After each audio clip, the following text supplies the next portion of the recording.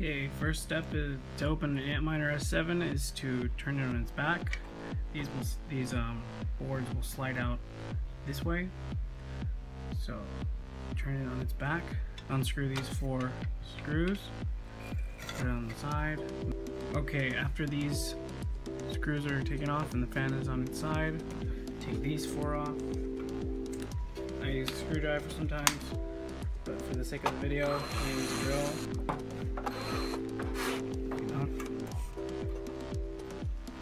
Like using a magnet to hold them all so they don't go flying everywhere. Take this plate off.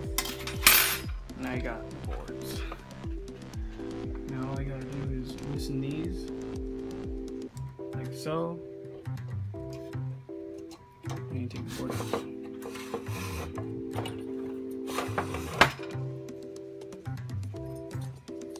Now I like to um, duster. I do this outside and dust it off.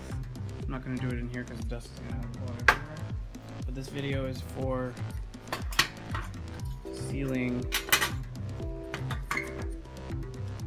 for sealing this part right here. This part seems to be the fastest one to go to rust. Alright, as you can see, these boards aren't so rusted. Right there, so I'm going to start off with these. Alright, first you start off by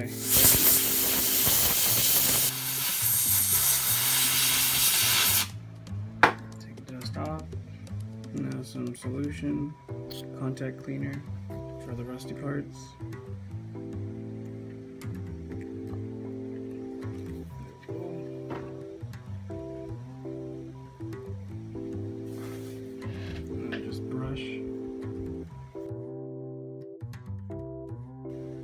Seconds.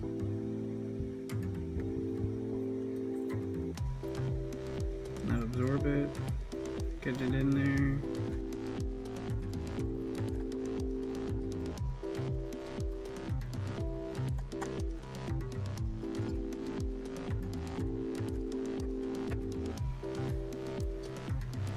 You can see it's a lot cleaner.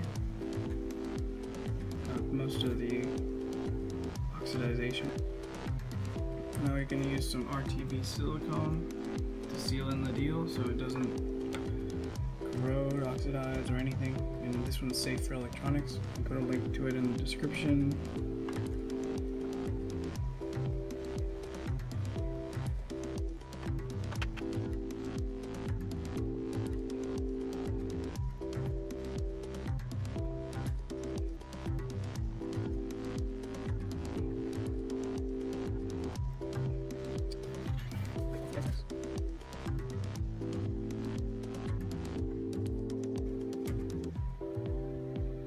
This one dries off real quickly so you got to work with it fast.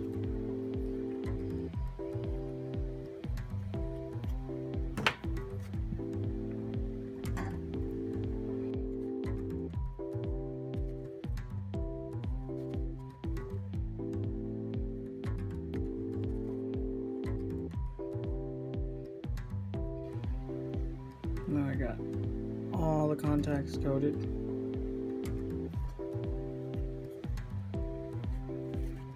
just wait around 30 minutes to an hour. Put it back on. Make sure you have a fan. And uh, yeah come back to that one in half an hour. All right this is the second one. Well actually I've done two others but this is the second one in the video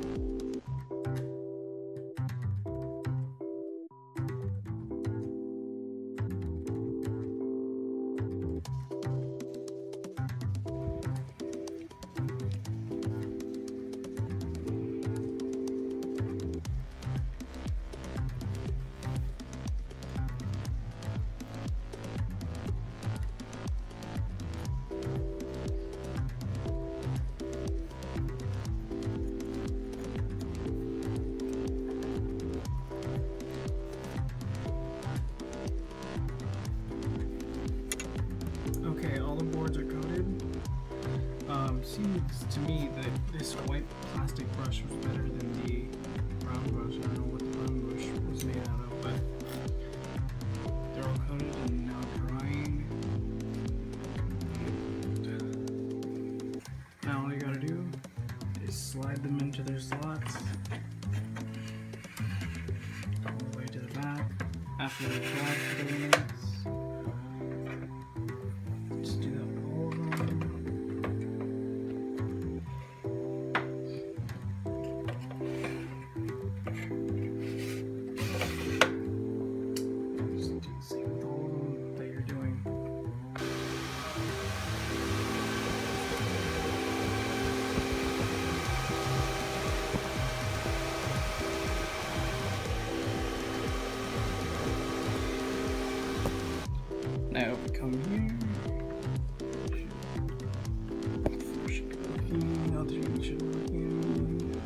underclocked.